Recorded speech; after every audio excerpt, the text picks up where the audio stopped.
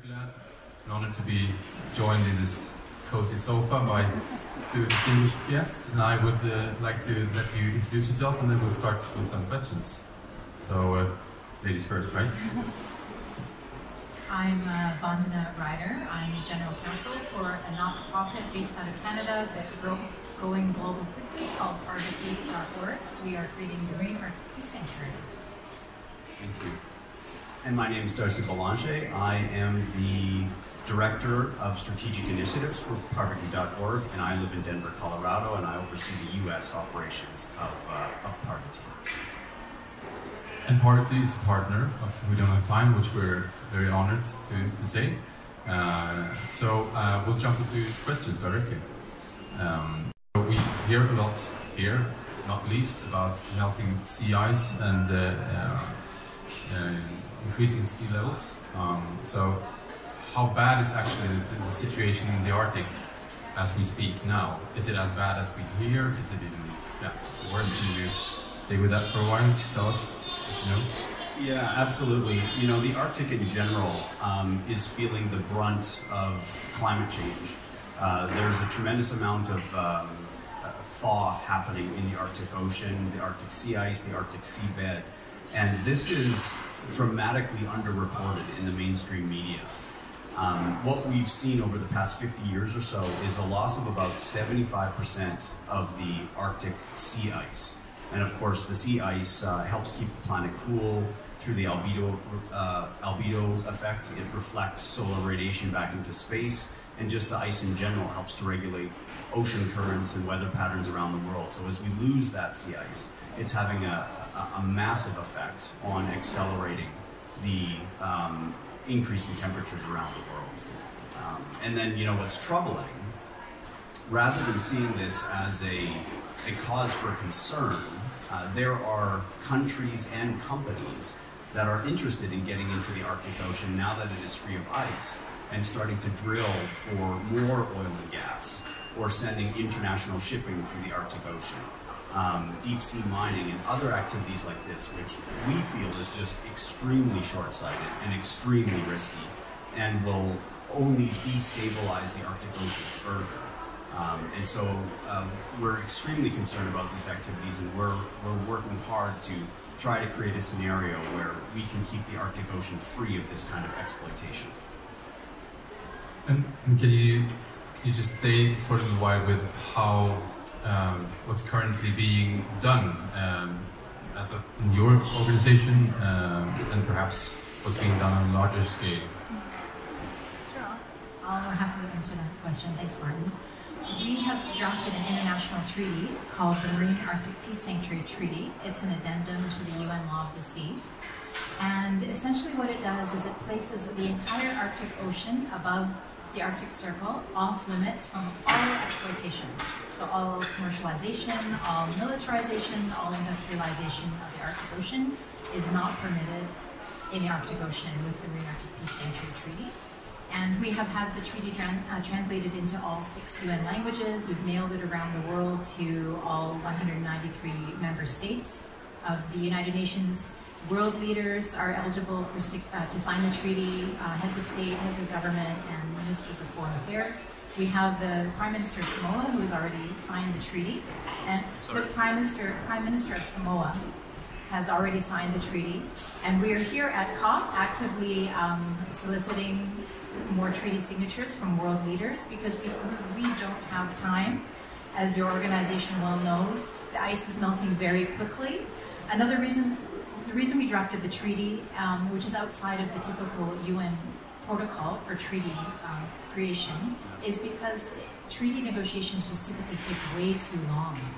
The, um, the current treaty that's being negotiated under the UN, under the auspices of the UN, is the Treaty to Protect Biodiversity in the high seas. And discussions regarding whether or not to enter into treaty negotiations started back in 2003 and they did just commenced formal treaty negotiations um, in September, and they're scheduled to last two years. Well, if we were to follow the typical UN protocols, we would not have a chance of saving the Arctic Ocean from exploitation. So that is uh, that is the mechanism that we're using. We're um, and we, we have to follow this process so that we can try to save the ocean, save the planet, and protect all life on Earth. Thanks. It's, it sounds like something that, that should have been done a long time ago, and that, that the work has been started in UN, for instance. But since it takes so long, that's the starting ground for for your organization. So you wanted to do it differently. Um, can you also tell us a bit of how, besides head of states, um, or besides the, um, uh, the head of state of, of Samoa, uh, other different levels of, of people that you've engaged? Are there more examples of people that signed it? And also, if you just uh, talk a little bit about so the Marine Arctic Peace Sanctuary, that's the maps. So, so uh, what you want people to do now, taking having this knowledge from from our talk and, from what you do and how you spread that, and what you want people to actually take action on. Either of you? So, correct. The, the, the treaty is called the Marine Arctic Peace Sanctuary Treaty, and as Vandana says, it declares the entire Arctic Ocean north of the Ar- Arctic Circle off limits to exploitation. Um, the treaty is before heads of government, heads of state, ministers of foreign affairs around the world. We have sent the treaty to every country in the world multiple times. Um, what regular people can do, like you and I, is put pressure on their elected officials to sign the treaty. So we're working at two levels. We're working at the international policy level, which is the treaty, but then we're also working at a grassroots level with people around the world, volunteers around the world, people we call MAPS ambassadors who've been trained to deliver a, a presentation on MAPS, to go into their schools, their universities, their places of work, their places of, of worship, and deliver uh, this presentation to inspire others in their community to raise a call to put pressure on their elected officials to sign the MAPS treaty. Um, we're all volunteers in this organization. None of us are, um, are being paid. This is all entirely a grassroots movement that is getting grassroots attention around the world. And we're giving a very tangible and a very real way that people around the world can take action, whether it's through signing the petition on our website, becoming a MAPS ambassador, volunteering with us, or simply writing a letter to their elected official or organizing a rally, an event. This is happening everywhere, and it's all coming from a very organic, very grassroots place. Super, uh, super psyched to be part of this, uh, um, to support your your your cause, which is also ours and all of us, because it's um, it's really like uh, it's it's like the uh, thermostat of, of, of the Earth. It, it, it what keeps the climate in some sort of, of harmony, even though it's not very harmonical.